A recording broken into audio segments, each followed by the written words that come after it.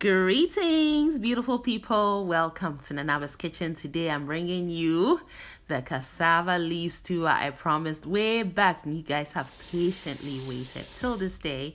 So let me thank you in advance for your patience. So I have some goat meat and oxtail, which I have seasoned generously with some salt. Added my ginger paste as well as my green herb and spice blend. One chopped onion and a couple of chopped scotch bonnet chilies for some heat. Now this parcel contains ogiri, which is fermented sesame seeds that are roasted. So they will be bringing to the pot that much needed precious umami taste.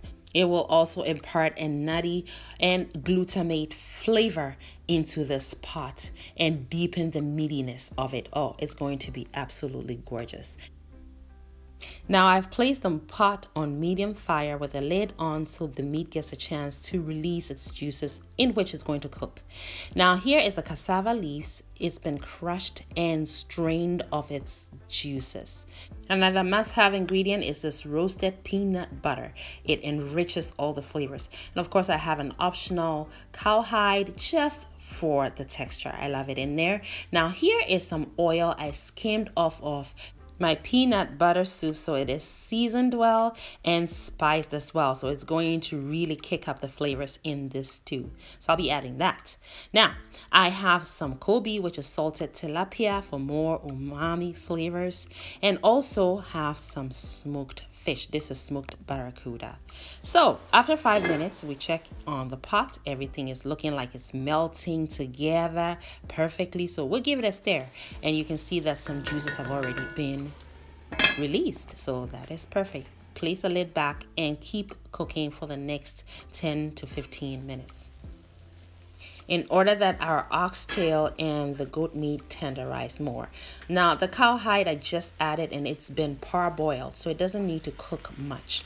Now I'm going to add some water to this because the meats in here could use those juices to tenderize further. Now stir to make sure that you're deglazing and combining everything thoroughly. Done. Now we're going to add our roasted peanut butter. Like I said before, this will enrich the flavors here. It is must have ingredients, so make sure you have that and it has to be roasted. You will love it in here. The way I'm making this is how I was taught to cook this dish by my Sierra Leonean friends. All right, so now I'm also adding the smoked fish. You want to stir that in. Now the cassava leaves are available at your local Ghanaian or African grocery store.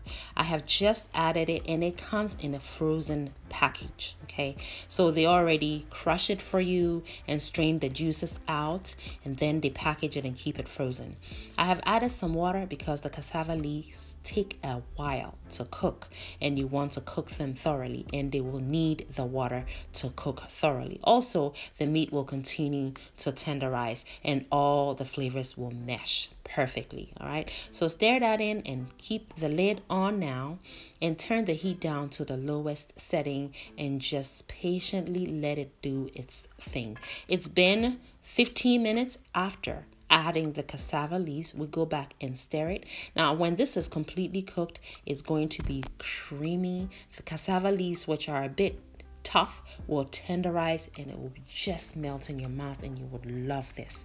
Now I'm adding the oil that I skimmed from my peanut butter soup so that those flavors can also now get incorporated and become one with the rest of the flavors in the pot. So you want to stir that in. We're not done cooking at all. We are about halfway.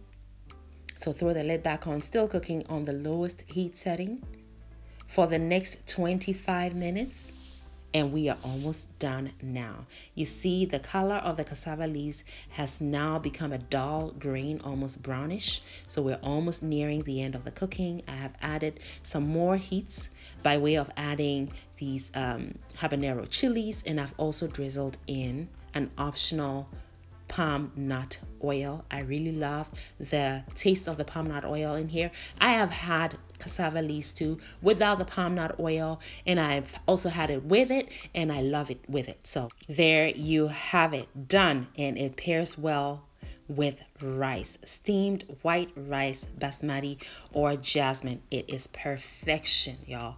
I hope you are able to try this recipe, and I certainly hope you had fun today and learned a thing or two. I hope to see you pretty soon on my next one. It is shop time. Thank you for watching. Make it a great day and have fun, especially in that kitchen. Thank you, beautiful person, for watching the video all the way to the end. Kindly leave me a comment and subscribe down below. And don't forget to share the video as well.